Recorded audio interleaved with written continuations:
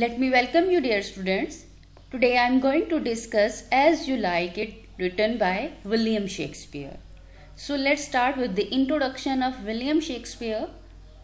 Dear students, William Shakespeare was born April 23, 1564 in Stamford upon Avon. He was baptized on April 26th.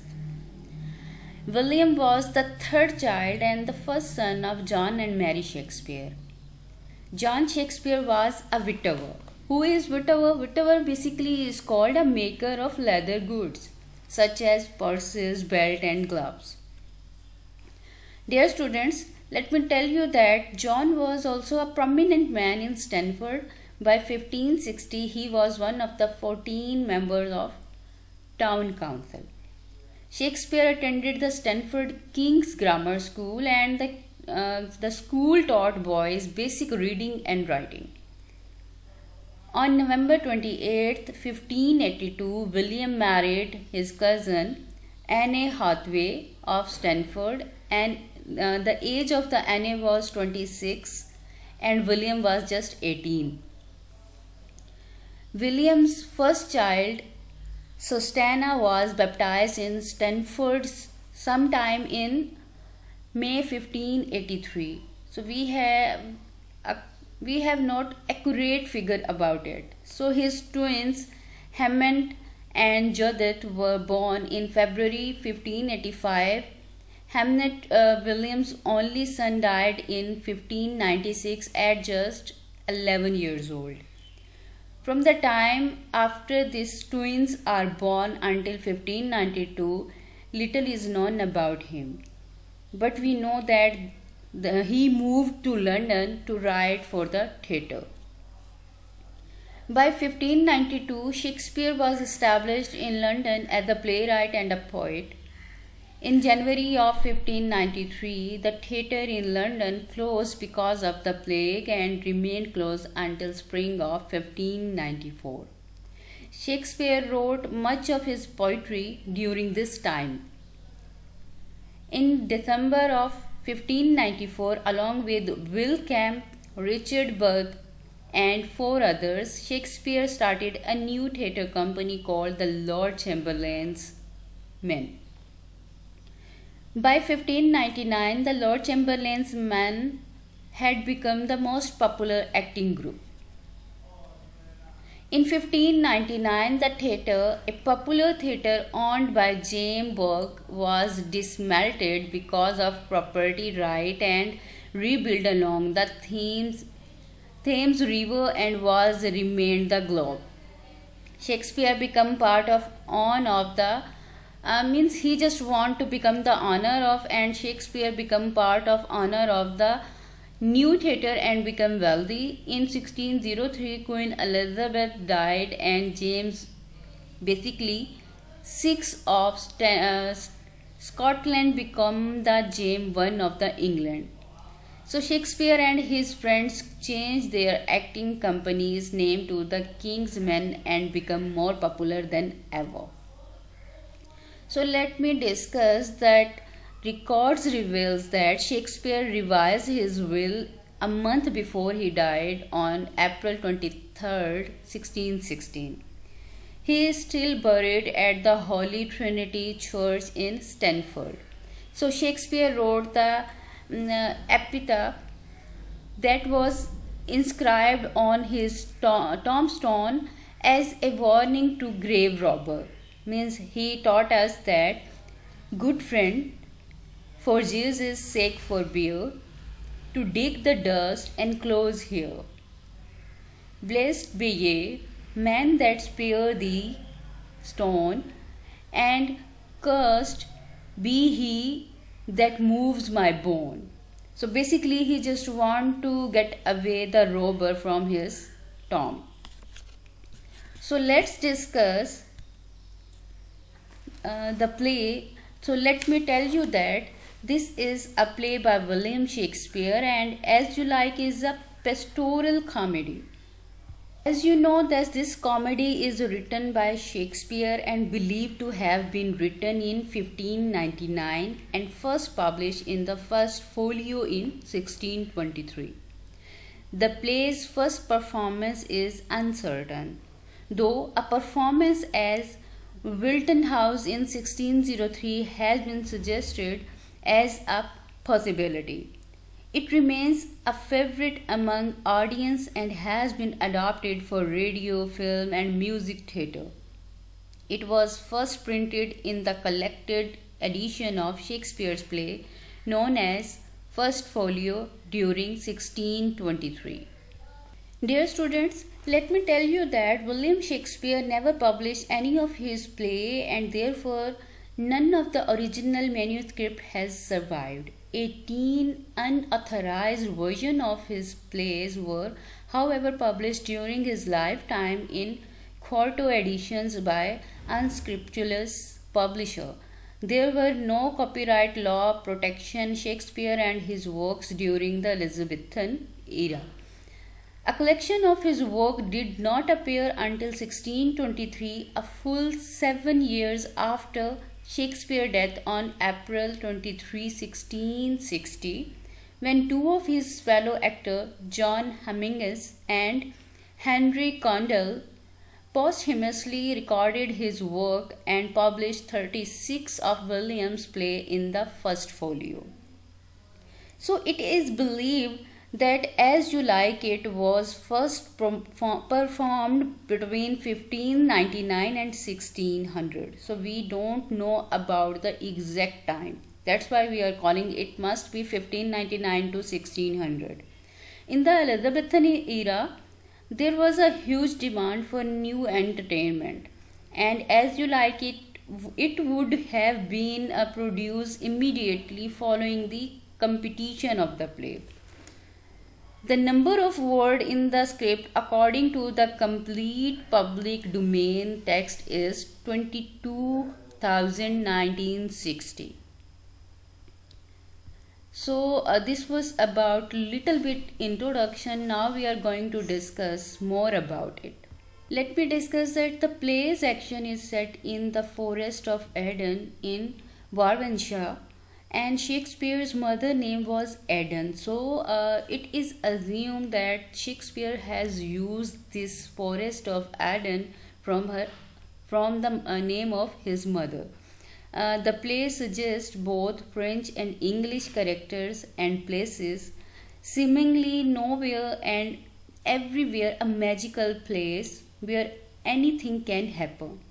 Thomas Lodge wrote Rosalind Euphues, Golden Lakes in 1590 and Shakespeare borrowed freely from its characters and plot.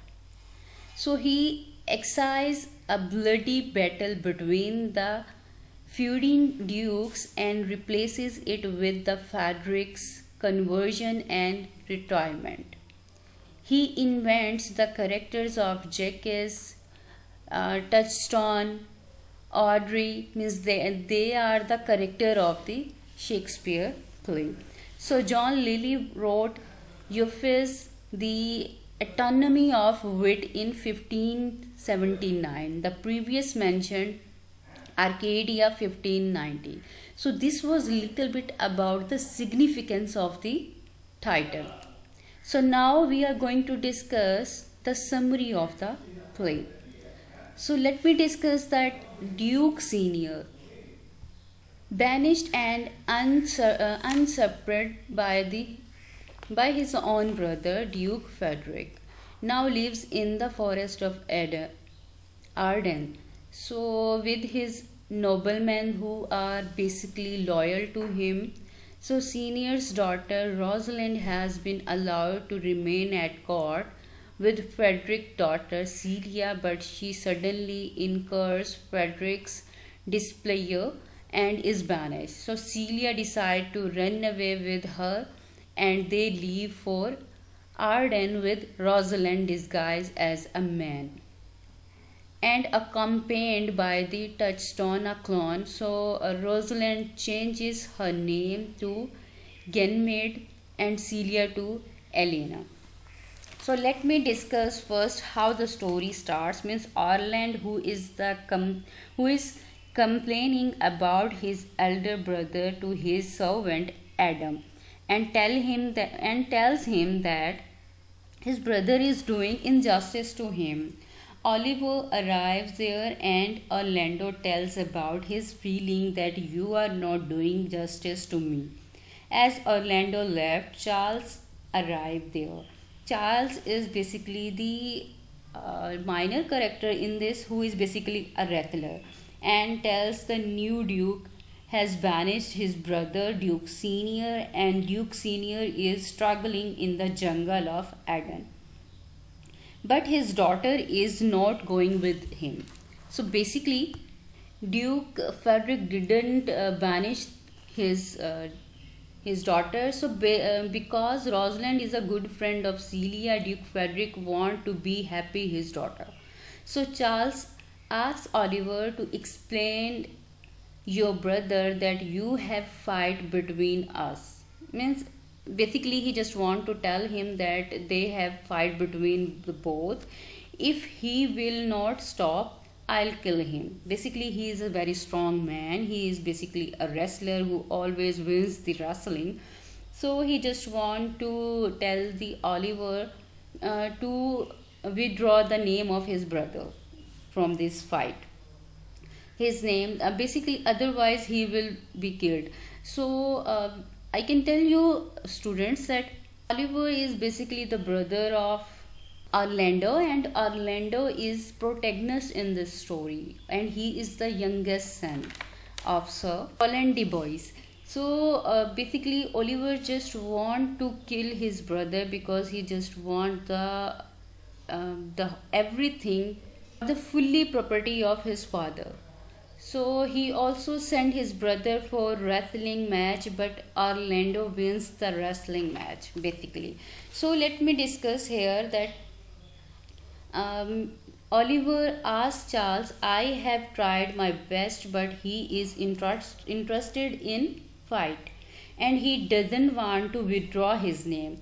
He is in mood of winning the wrestling and he wants to beat you. So Charles leaves the place by saying, Let's see who will win the wrestling, Orlando or me. Now we talk about the Rosalind uh, and basically the Celia. Who uh, basically here the Rosalind whom Celia is comforting the Rosalind because Celia's father has banished Rosalind's father's uh, Rosalind's father basically uh, basically we can talk about that uh, here uh, here the duke senior was banished by the duke frederick who is the father of celia that's why uh, here we can say that rosalind was very sad just because of his father banishedness then uh, we can see that here a servant arrives and tells them both a wrestling match is going to start between the wrestler Charles, who is basically a very strong man, and a new boy. The name of the boy is Orlando. After listening the news, both Celia and Rosalind became become worried about the new boy. So we can simply say that they become uh, basically because Charles is a dangerous fighter and he will kill the boy. So Rosalind goes to the Orlando and requests him to withdraw his name. He says, uh, sorry, she says, you are too young for this fight, but Orlando doesn't bother because uh, Rosalind uh, means he doesn't know about the Rosalind and Celia, but he likes her. So he doesn't bother the advice of Celia and Rosalind and goes to the fight and luckily he wins the match. Uh, this is the first scene. Basically this play is written in five acts. So in the next scene, Rosalind and Celia both are talking about the Orlando and Celia asks her, means we are talking about the Rosalind, I think you like Orlando. Then Duke Frederick arrives and he asks the Rosalind to leave the place. Miss, she just leave the uh, palace and go to your father. Means otherwise you will be killed. And Duke Frederick leaves. The Celia asks the Rosalind doesn't worry I'll go with you. The, they both cousin means we are talking about the cousins they uh, disguise into a man and leave this palace for the forest of Eden. So Rosalind and Celia disguise and go to the forest to find Rosalind's father means Duke Senior and take a fool with them and the name of the I means he was the fool of court and the name of the fool was Touchstone. So we are going to discuss now means what is going here. Let me discuss that before they leave, Rosalind falls in love with one of the son of Roland de Bois Orlando, who is ruled and hated by his elder brother Oliver. So Orlando foils Oliver's plan to have him killed in a match against the Duke chief wrestler Charles by defeating the champion. So Orlando is then advised by the Boys. Sorry, it is Le Beau to leave the court and he flees to Arden with his old servant Adam. They are starving when they encounter Duke Sr., who takes them in, delighted to discover that Orlando is the son of his old friend Sir Roland. So let me discuss that means we find the next scene when we find that the Duke Senior is enjoying the hunting with his companion because his companions are loyal and full uh, means faithful to him while the palace means we are talking about the palace when Duke Frederick found that his daughter is missing and uh, she left the palace, Duke Frederick gets angry and arrests the Oliver because he was thinking his daughter and Rosalind are with Orlando. On the other hand, we are talking about Orlando has left the palace, means sorry, place with the servant Adam and went to the forest of Eden. He taught his brother, means he, he just thought that his brother Oliver wants to kill him. So uh, we are then we are going to discuss about means they both means uh, Rosalind and Celia who are basically uh, who are also in the forest of Eden and they met with the two shepherds and the name of the shepherds are Sylvius and Corin. Uh, they are talking and means they both talking and learn to Sylvius' love for Thebes, a shepherd. So basically, uh, we we talk about that.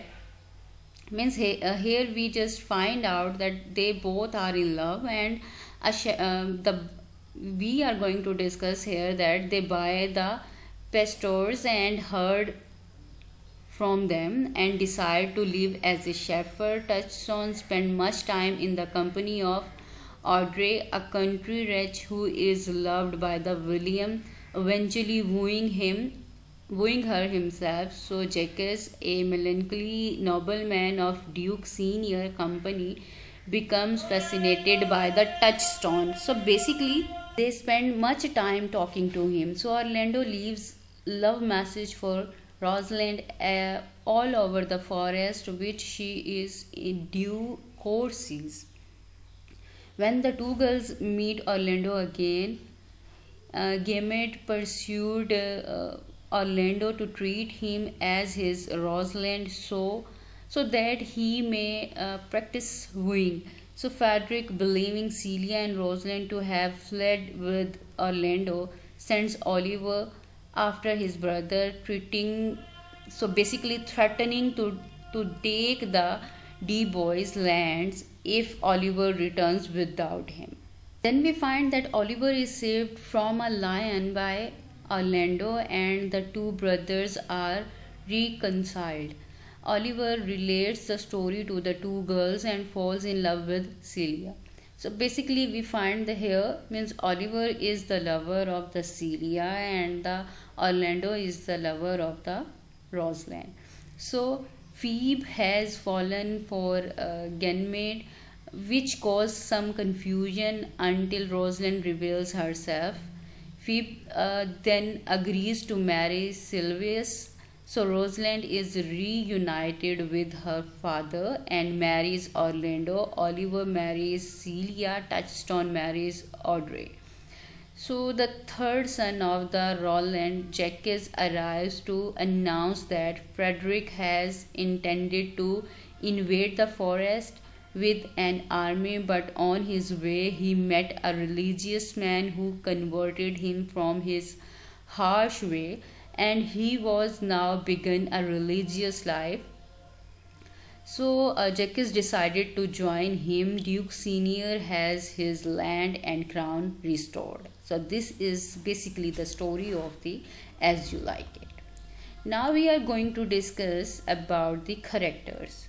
So we are going to discuss here the major character. The first character is Rosalind. So the Rosalind is the daughter of Duke Senior. Rosalind considered one of the Shakespeare's most delightful heroine in independent-minded, strong-willed, good-hearted, and terribly clever. Rather than sink off into defeated exile, Rosalind uh, resourcefully uses her trip to the forest of Arden and as an opportunity to take control of her own destiny. When she disguises herself into a gimlet, a handsome young man, and offer herself as Orlando's tutor. So you can say that Rosalind is a beautiful character uh, written by the William Shakespeare because she is a female. At the time, they don't fascinated the female, but here uh, Shakespeare has uh, written a strong woman character. Uh, so the next one is the Orlando. So we are going to discuss about the Orlando means who is the youngest son of the Sir Roland de Boys and uh, a young brother of Oliver. Orlando is an attractive young man who has languished without a gentleman's education or training. Orlando cares for the aging Adam in the forest of Arden and uh, later risk his life to save Oliver from a hungry lion and prov- uh, basically proving himself a proper gentleman. He is the most obvious romantic match for Rosalind. So means we can find here Orlando is the basically a protagonist of the story. Now we are going to discuss about the Celia who is an other character and the daughter of Duke Frederick and Rosalind's dearest friend. So Celia's devotion to Rosalind is unmatched as ev uh, means evidenced by the by his by the decision of her to follow her cousin into the exile to make the trip serious assume the disguise of a simple shepherd and calls herself Aliena as uh, elucidated by her extreme love of Rosalind and her immediate so basically, immediate devotion to Oliver, whom she marries at the end of the play. So the next, uh, basically, we are going to discuss the next character that is now is the Oliver. Oliver is the elder brother of Orlando and the elder son of uh, Sir Ros. Uh, sorry, Sir Roland de Boys. So we are going to discuss here that he he fraud with his brother and exile or we can simply say that expropriate him from his father's property he also sent his brother for wrestling match and orlando wins the match means luckily or miraculously so this is about the oliver. Now we are going to discuss about the duke senior who is the father of rosalind and rightful ruler of the dukedom in which the play is set, having been banished by his own brother or the upcoming means unsurprisingly uh, Frederick means that the name was the Duke Frederick. So Duke Senior now lives in exile in the forest of Arden with a number of loyal men including Lord Amiens and Jacques. Jacques was basically the third son of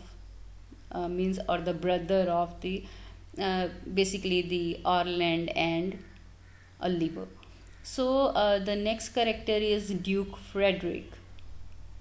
So basically here we are talking about Duke Frederick who is the uh, new Duke of means new duke and the brother of senior and uh, means uh, means unsurprisingly he he on the throne and duke frederick cruel nature and volatile temper are displayed when he banished his niece and uh, Rosalind from court without reason. So uh, means that's why his own uh, daughter Celia cannot mitigate his uh, unfound or means unfounded anger uh, demonstrate that intensity of the duke hatefulness.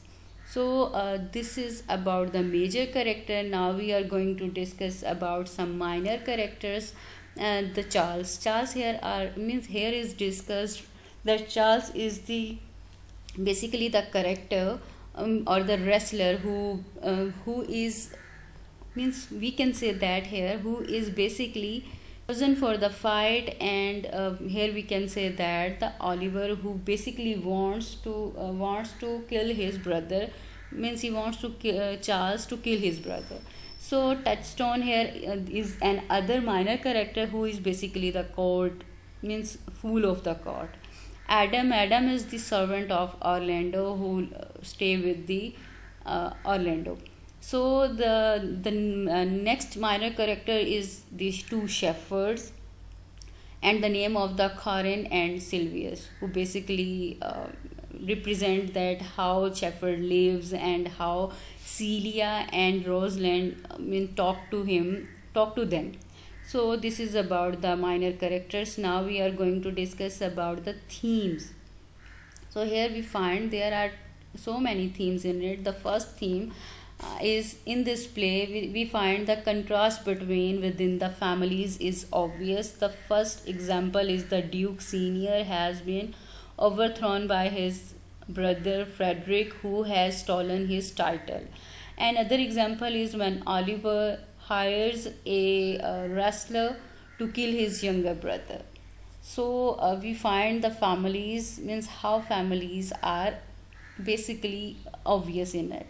And the next one is the theme exile. Here we find that exile is another theme of as you like it because a few of the characters are forced to leave their homes such as duke senior rosalind and orlando so others instead of decide decide to leave the home because they are convinced it is the right thing to do like Duke band of Lord and Celia and Adam.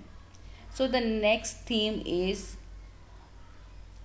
Homoeroticism. So it is presented in As You Like It when Rosalind dresses a young boy, means Gamard. She attracts Orlando's attention. Although he is meant to be in love with the female, also Rosalind and Celia have an almost too close relationship. So the next theme is the delight of love. We find the light of love in it means they both are means we find two types of love in it. The first one is between the celia and uh, sorry the first one is the rosalind and the oliver and the second one is if i am not wrong. Means the first one is between the Orlando and uh, Rosalind the second one is the Oliver and Celia. Uh, now we are going to discuss about the foolishness and folly. Uh, so let me discuss that the foolishness is one of the theme of as you like it many of the characters do many foolish things for love in this play touchstone is the main fool and although he is one who is able to see the foolishness in others. The fool, though think he is wise, but the wise man knows himself as a fool. So uh, we are talking about the touchstone. Means he is, means he is basically we find him as a foolish character or the fool, but he is actual wise man in this play. Uh, and the next and the delight of love the delight as you like it spoof many of the conventions of poetry and literature dealing with love, such as the idea of love is a disease that brings suffering and and uh, torment to the lovers. So basically, we can say that it is an assumption that the male love male, male lover is the slave or the servant to of his mistress.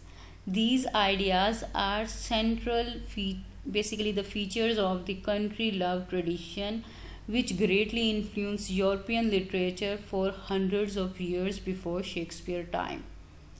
And the next one is the malleability of the human experience. So Jacques uh, basically philosophizes on the stages of human life like Man passes from infancy into the boyhood, becomes a lover, a soldier, and a voice civic leader, and then year by year becomes a bit more foolish until he is returned to his second childness and mere avian. Um, the next one is the urban life versus the rural life. We find the pastoral literature thrives on the contrast between life in the city and life in the country. Often it suggests that the uh, oppression of the city can be remanded by a trip into a country's therapeutic wood and field and that a person's sense of balance and rightness can be restored by the conversions without uncorrupted. So uh, we can simply say that means here the uncorrupted are between the shepherds and the shepherdess. This type of restoration basically uh, restoration in turn enabled one of the return of the city a better person capable of making the most of urban life. So this is all about the themes of the these means they are the basic themes. We had the, we have many other themes that is quite uh, shorter than the uh, these. So i'm going to discuss only the main themes. Then we are going to discuss about the orlando's uh, symbols. So the first one is the orlando's poem uh, the poem that Orlando nails to the trees of Arden are the testament of his love of uh, love for the Rosalind and the slain deer uh, means Jacques and the other lords in Duke Senior's party kills a deer. So Jacques proposed to set the deer's horn upon the hunter head for a branch of victory to an Elizabethan audience. However, the slain deer would have uh, signaled more than just an accomplished arch. So this is about the deer. And the next one is the Ganymede, basically the Rosalind choice to alternative identities in is very significant.